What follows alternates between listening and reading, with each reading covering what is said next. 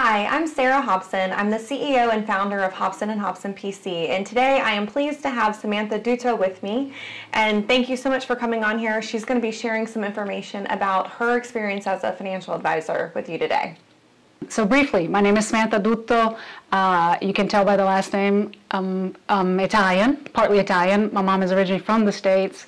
Uh, my dad is, you know, pure Italian, and I was born and raised there uh, for 19 years of my life. Oh, um, wow. Um, so been here in the States uh, almost 30 years. So I'm super excited to be here. I mean, obviously, uh, grew up bilingual in the process, learned two more languages, so I speak oh, four wow. languages. Really? So, what are the other two?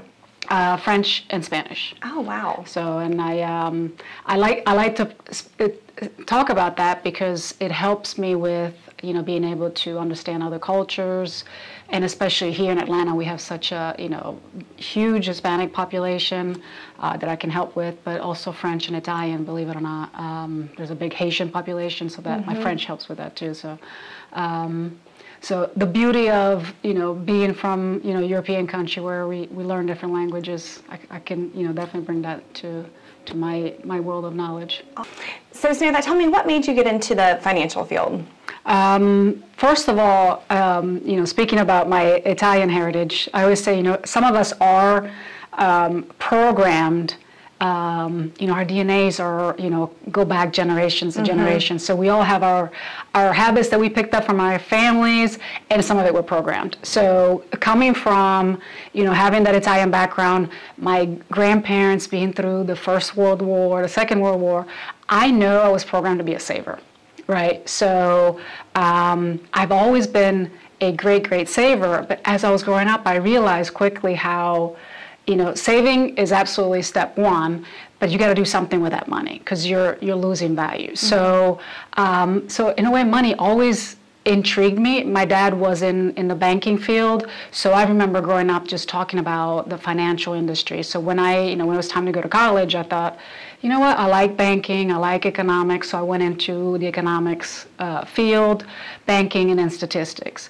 And when I finished, and the reason I came to the States was actually going to Georgia Tech, so I came here because of, of college.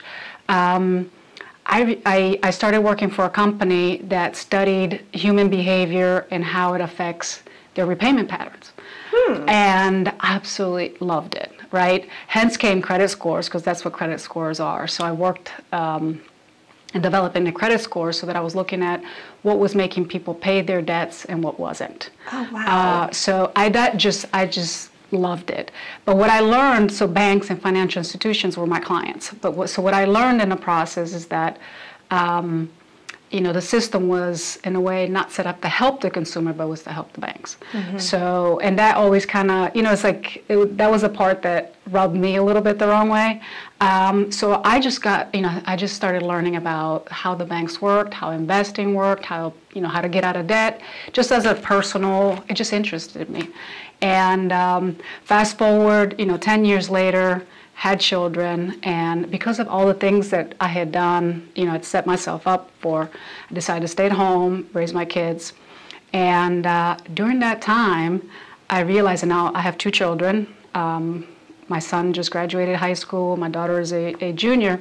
I realized that even with them going through all the, you know, some of the best schools in the state, they weren't taught anything mm-hmm. about financial literacy, education, budgeting, any life skills that revolve around finances. So, you know, about five, six years ago, I realized, you know what, the the world needs me. We are, you know, in a debt crisis in the United States. Mm-hmm. Uh, we're in a lack of education as far as financial uh, concepts, and I just thought, you know what, this is what I really wanted to do, and that what I had learned about the financial institutions before, I was like, I want to use that to help people.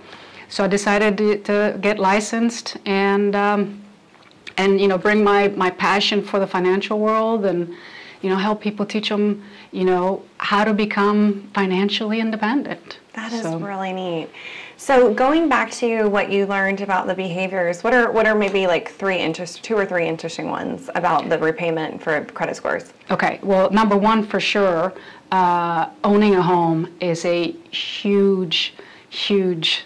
Uh, determining factor if you're going to repay your debts, and that's all debts: credit cards, car loan. I mean, credit cards, debt, um, car loans, your mortgage, obviously, um, and then looking at your payment history. Okay, so the way that the, the, the bureaus hold your data, they look at how many times have you paid on time, how many times have you been 30 days late, 60 days late, 90 days late, charged off, and so forth. Okay, so that history is a strong predictor of your future behavior. So if you've had maybe one time 30 days past due, you're okay. Once you start hitting 60 days, 90 days, it's just it's a avalanche effect. So in the future, you're more likely to not not pay off. Uh, and the length of history, you know. So um, how long have you had a history? So if you if you're fairly new. Um, there's not enough data to say, so you're a little riskier. If you've had, you know, a credit card for 20, 30 years, you, you, chances are, by this point, you've learned to manage your credit. credit. And these are some factors that are definitely going to affect people who are going through a divorce because mm-hmm. when you do get separated and, and, and then, you know, the divorce is finalized, you're having to go and, and get things on your own, you know, home on your own. Um, you might have to get a vehicle, you know, using your own credit, not joint mm-hmm. credit anymore. Right. So these behaviors are really important to pay attention to and, and make sure that you're keeping up with it and your spouse is keeping up with it during um, the divorce. Yeah. And actually, one more thing too is it, it, and it's it's measured in your credit, not as much, but one of the things that any institution, when you're applying for a credit card, a mortgage, you know, uh, any kind of loan, they're always going to look at your debt to income. So that is how much do you hold in debt and how much income do you make, right? So the higher that it, that percentage is, the riskier you are. Mm-hmm. So um, so it's super important to minimize your debt. Now there's some debt that you know is considered good debt, you know, like a mortgage car loan. A credit card debt, obviously, not good debt, plus it's a highest, higher interest rate. So definitely the type of debt you have uh, is critical, but you know, I'm a big proponent of no debt, right? So even the system that I teach my clients, which is, you know, the three steps to financial success, takes, you know, a piece of it has to do with the debt portion. So what about student loans? I've heard that that is sometimes considered good debt. Yeah. Um, so any debt, you know, depending on who you ask, any debt is bad because what, you know, what, what does that mean? That means you owe somebody, uh, you know, a certain amount of money, right? So you're always going to have to pay them first, in essence. So you're putting, um, you know, your future self uh, on hold while you repay everybody else. Now, um, when I look at debt, uh, you know, there's debt where you're, you're, you're say your you know, student loan or mortgage, they're kind of, to me, they're similar in the sense that you're investing in an asset, right? Something that it's going to possibly bring back value to you, right? So we know homes appreciate over time. You go into college and you know get an education should give you you know a, a higher paying job in the future. So they're they're a little bit better. Is it good? You know, it would be better, you know, like, mm-hmm. you know, mm-hmm. obviously you wish you could go in with, you know, having, you know, college planning done, uh, scholarships, grants, there's so many options out there. So, but a little bit of college debt, you know, especially if you're going to make more money, absolutely worth it. When, you know, the one that you really want to be, stay away from is where you're putting money into liabilities, a car and a credit mm-hmm. card. I mean, those are probably the, you know the ones that you absolutely want to stay away from. And if you're in it, then find a way, um, you know, with systems that we'll talk about on how to get out of it as quickly as possible. So, for those of you who are watching who are facing a divorce, um, you know, a key point here is that when you're talking about uh, division of debt throughout your, you know, you're talking about division of marital assets, so there's also marital debt. Um, there may be certain debt that it would be more strategic to work out getting paid paid off or paid down throughout through the divorce as opposed to others. So, you know, it may be something to think about. Well, maybe you should be having um, the car payment paid down or the credit card payment paid down as opposed to um, you know making a lump sum payment to the mortgage or student loan. This is something that you would need to talk to um, a financial advisor like mm-hmm. samantha about to see in your instance what is what's in your best interest.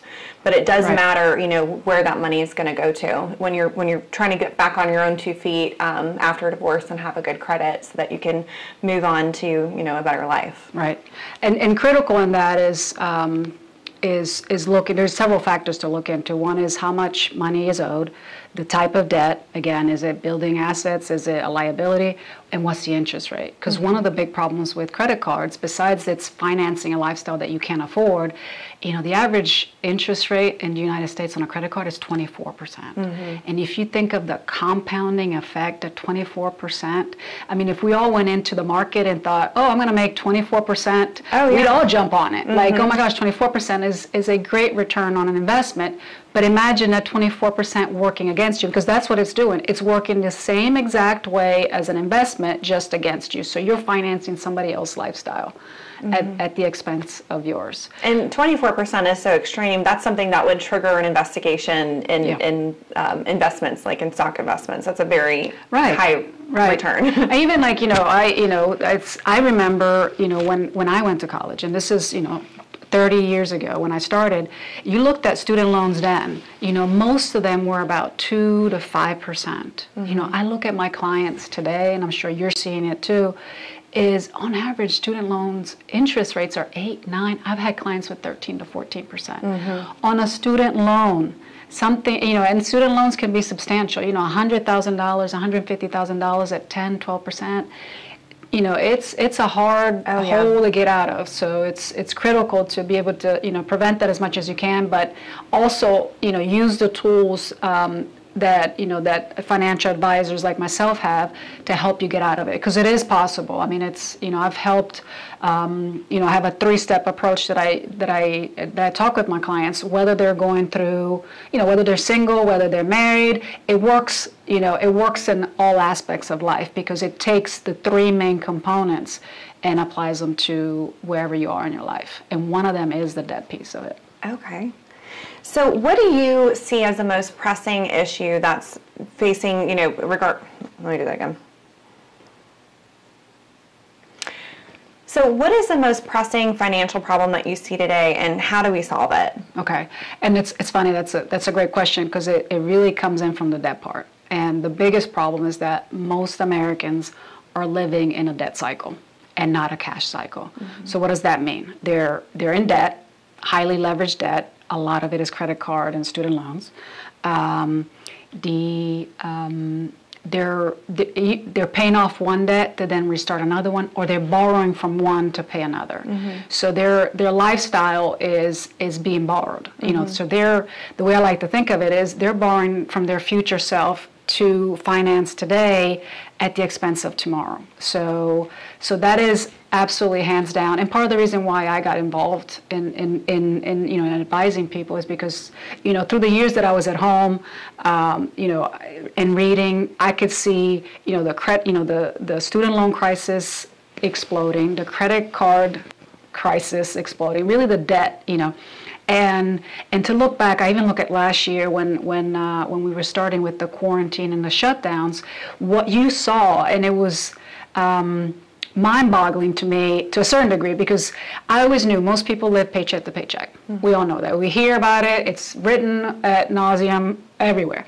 But what we saw last year was that not only families were living paycheck to paychecks, companies, small mm-hmm. businesses were living paycheck to paychecks. Mm-hmm. Big corporations were living paycheck to paycheck because they were all getting bailed out. Universities were were you know were living paycheck to paycheck, and we know the government is constantly living paycheck. So our whole economy is based on debt, mm-hmm. and until we have that shackled, we're shackled down. we can't be free. So that was part of the reason why I got involved because it, it, was it really became a heart project for me to help people because I knew by being on the other side of it what you know just some planning could change how could change people's lives. So um, so it's to get people from that debt cycle into a cash cycle, which is owning assets, paying cash for things. It doesn't mean you never use your credit card again, right? Because mm-hmm. I use my credit card all the time, but I pay it off every month. Mm-hmm. So it's really living where you're free right? So, um, so that's really the biggest, the biggest challenge that we face as a country is getting out of that debt cycle into a cash cycle where we have assets. We can, you know, we can one day stop working mm-hmm. um, because we've reached a point where we don't need our, you know, our date, you know, our paychecks. We've we've created assets for ourselves. And it's interesting because the, the way I was raised was you never buy anything except right. your cash right. ever. I mean, a vehicle that's that's what you do. Right.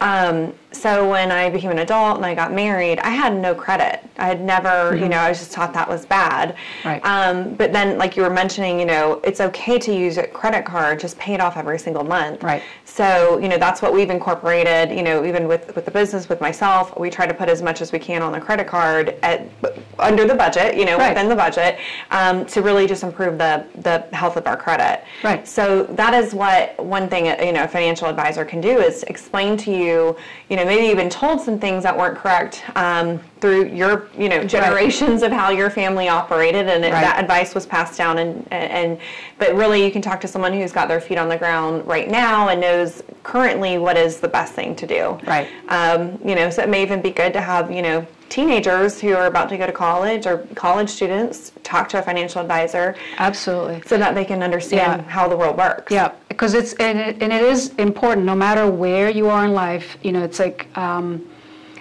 it's we all go through different life changes. We all do. You know whether it's you know you're growing up and now all of a sudden you're independent. That's the really the big one. You go to college you have to know. You know it's i look at you know it's so i take everything um, based on my personal experience. Like i don't tell anybody what to do if i haven't done it or if i haven't experienced it. Uh, so i look at even at my son who's now 18 and i will tell you there's not a week that doesn't go by that a credit card offer doesn't come in mm-hmm. right? So but we've educated him and explained, you know, he understands, he's had a credit card, so he knows how to manage it. But every phase in life, we, there's, it, there's new challenges. Mm-hmm. So it's, you know, when you're an adult and then, you know, so then you, you right away you go into, you know, the system is set up to get you to go into a debt cycle mm-hmm. because people are making money off of it. So how do we prevent that as much as possible? And if we're in it, how do we fix it? Then you have, you, you know, a, a married, you get married. That's another major life change. Having kids, another major life change. If you get divorced, another major life change. Losing a job, losing a parent. There's so many life changes that we go through, so we need to, you know, it's always good and advisable to get you know experts that uh, that can help you uh, through any of those mm-hmm. life changes. Because a lot of times we don't think of you know what are the ramifications long term you know a lot of times you know one of the things that i you know when i talk to you know uh, women and men that are going through divorce you know is the mindset. And i know you do it too because a lot of times you have a mindset of uh, i just want this to be over with. But if you go in there with that kind of mindset mm-hmm. you could lose millions. And i did say millions with an m over the next 20 to 30 years mm-hmm. or the mindset of i want to make sure that he or she pays for everything you know i'm going to make sure that he or she is broke that can cost you millions 20 30 years from now mm-hmm. so having the right legal advice having the right financial advice um, at, at, at, those all those life changes um, you know is, is critical mm-hmm. because it, it, it, could cost you millions so, oh yeah i agree yeah but the, the three steps, because I wanted to talk, tie in the debt piece of, of, um, of financial success, and it's simple. You know, a lot of people think it's complicated, and it really, and that's one of the things, the beauty that I've been able to do is, is to bring, to show you how simple it really is. It's really a three-step approach. Now, is it easy? No it's simple but because we all have to do the work you know it's the reason we are where we are and as a country is because we've decided that we wanted to spend and enjoy life mm-hmm. and live in the moment, et cetera, et cetera. And you can still do that, and that's the beauty of it. But the three step is the first one. First is is you know you've heard me mention you're ta- you're borrowing from your future self. Mm-hmm. So let's reverse that, right? Pay yourself first. That is critical, right? We all know the first person we need to pay is Uncle Sam. That one we can't escape. So our paycheck, first thing that comes out. The next person that needs to be paid is yourself right? And that means putting money away before mortgage, before bills, before anything else for your future self. And that goes into an emergency fund. So we have to save for emergencies. And that is job loss, the water heater breaks, the car needs fixing. We got to get out of that debt cycle. Mm-hmm. Um, and then the second type of account is a short term account. Um, so we want to make sure we're saving for vacations. You know, so you see how we've all been brainwashed to, to not think ahead. It's all like, right. oh, I'll just do it now instead of planning just a little bit. Uh, Reacting instead of right instead of planning. Yeah. So just like we would save for a house, for a down payment on a house, we you know we can't go into it thinking, oh, I'm going to buy a house tomorrow. No, we're going to have to plan for it. So you kind of have to plan for everything. So that short term helps you with um, the vacations, the college planning, the buying a home, starting a business, you mm-hmm. know, even going into start, starting your own business. You want to go into it with some cash, not borrowing 100%, because guess what? You're going to keep paying the bank. Yeah. And then it's not going to be, if you think about it, if, you've, if you borrow to start your business, the bank owns your business. It's mm-hmm. not you. So the whole point of starting a business is for you to own it. So mm-hmm. let's not let the banks own it.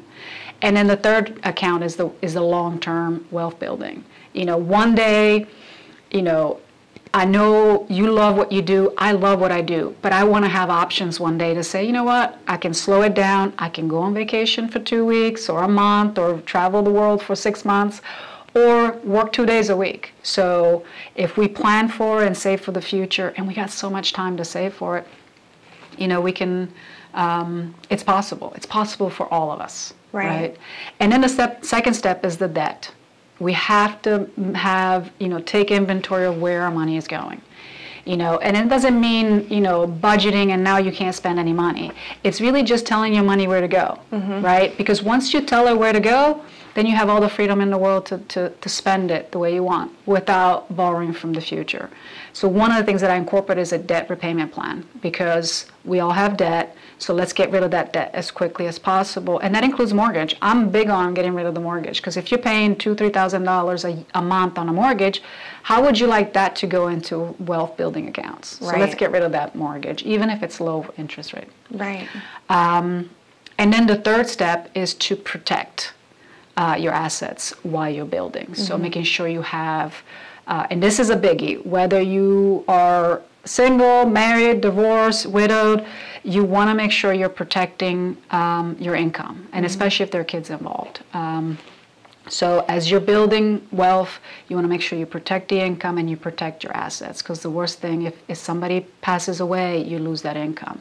And that is super critical. That's probably one of my biggest tips as you're going through divorce is to make sure that, you know, both parties are properly insured um, especially if you have you know children and you have child support, right. alimony, because you know if the if that parent passes away, mm-hmm. you, the, the money goes away. So make sure that um, both parties are properly insured with their life. And there are some judges that um, they will order the child support paying party to get life insurance and yeah. the amount of the child support. Yeah um, which I think is really brilliant. I love that. I love it. I wish we would. You know, so I, I find it funny that we we it's illegal to not have auto insurance, but not life insurance, which is our our lives are our biggest asset mm-hmm. if you think about it. Mm-hmm. So when you lose an income, the whole family, you know, collapses. You yeah. know, whether they're together or not. Um, so I wish I my wish would be to have life insurance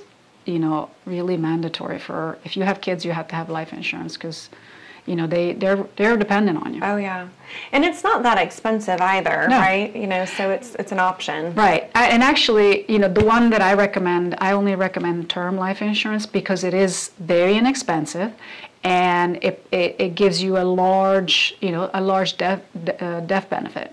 So, and it's only for a certain period of time because at the end of the day, you know, as we go through life changes, we, you know, our children grow up, right? They're going to be on their own. You know, if you have a 25, 30 year old, do you need life insurance? No. If you if you have all your debts paid off, do you need life insurance? No. So why get like expensive life insurance for mm-hmm. the rest of mm-hmm. your life when you really don't need it? When you need it only for a certain period of time, it's inexpensive. Everybody can afford it. I mean, it's really a Chick Fil A mm-hmm. meal. Yeah. Um, and um, and then you have you know everybody protected for the time that you need. And then all that money so my my two tiers approach is the money you're saving on the life insurance you invest it. And you're building your assets so that way you become self-insured. So the three steps are to invest in yourself right. pay yourself first um, get the debt down mm-hmm. and then protect your money. Right. Protect your money. Protect your income absolutely. Okay do you want me to ask how does this apply to people who are considering? We can already went yeah, through it, so if you want to, we can one. skip to that last one if you want. Okay.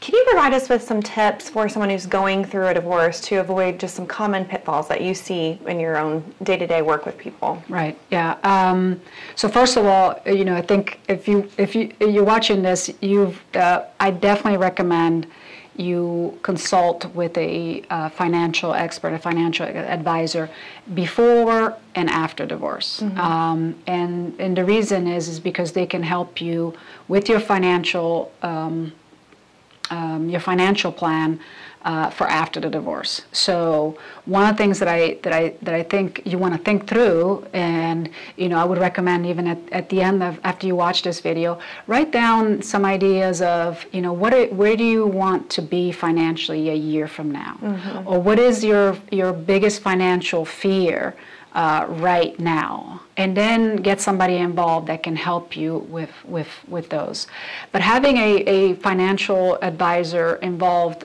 be, before and after uh, can really you know change and readapt your financial strategy. You might not even have one, so it's a good time to start one because you're going to have to be very focused um, on on uh, you're going to have to have a really focused plan because now everything you know everything changes mm-hmm. number one is a new a new plan because now you're at one income uh, you have different assets than you did before so you want to make sure that you're you're taking into account all these changes and how they affect you you know for your future and particularly for retirement uh, number two, you want to make sure that you know they help you evaluate what are your Social Security benefits because mm-hmm. that varies. You know, you, I'm sure you go through it with them. You know, depending on how long you've been married, what what are the assets, the incomes, but they'll be able to guide you and, and, and give you advice on what you qualify for, and if you make any changes later on, how it affects your Social Security mm-hmm. benefits.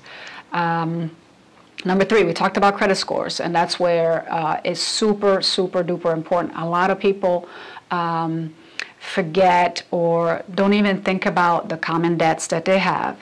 So you want to make sure that if you have any joint accounts, that those are taken care of. If you have any authorized users, that all of those changes are made and a financial person can help you through that because um, I've seen it, and I'm sure you've seen mm-hmm. it too, where you, you know one spouse their credit score gets destroyed mm-hmm. after a divorce. So you want to make sure that um, that that you can prevent as much as you can mm-hmm. there um, because that it, it, impacts your credit score unfortunately impacts the cost of borrowing in the future if you have to and if you make changes you might have to buy a house you might have to get a car and that's where your credit score comes in mm-hmm. and the final tip is uh, looking at your retirement accounts right so some retirement accounts are tax deferred which means you pay taxes when you take the money out in retirement and some of them you already paid taxes on today, as well as an investment accounts, which you're paying taxes every year. So you want to make sure that if you, when you have a financial advisor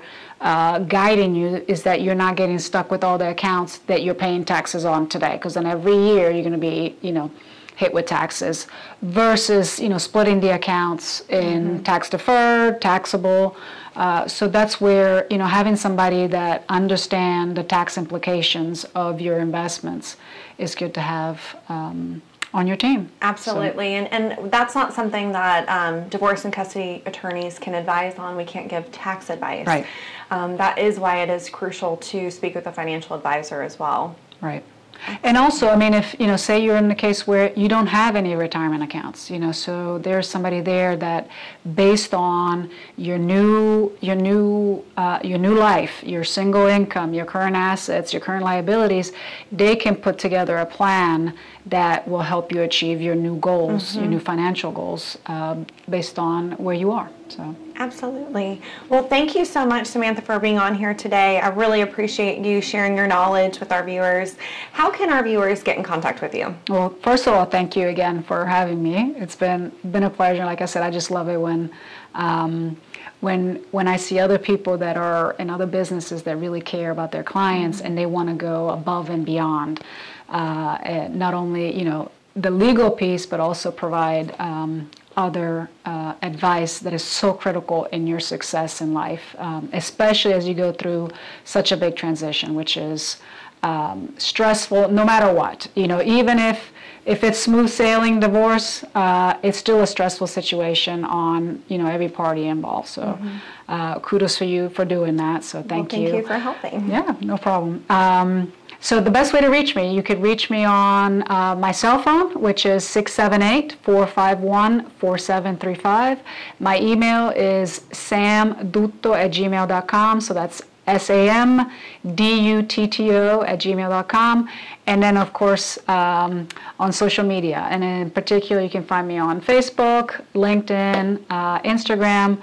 I particularly like Facebook um, just because I can, you know, I, I, I, provide a lot of value there. I take really the educational approach where I teach, you know, the three steps and make sure you get a, you get a good understanding of, you know, how finances work, how investments work, not to the point where you're going to become an expert because obviously most people don't, but give you some, some comfort in where you are and map out your, your future so that you feel confident in the decisions you're making because that's super critical. Just like you want to, you know, mm-hmm. get the right lawyer that you trust to walk you through this process. You want to have somebody you, you, you trust um, that will explain it to you uh, so that you, you really feel the confidence there. So find me on Facebook as well. Awesome. Well, thank you very much, and let's do this again soon. Thank you. Bye. Bye.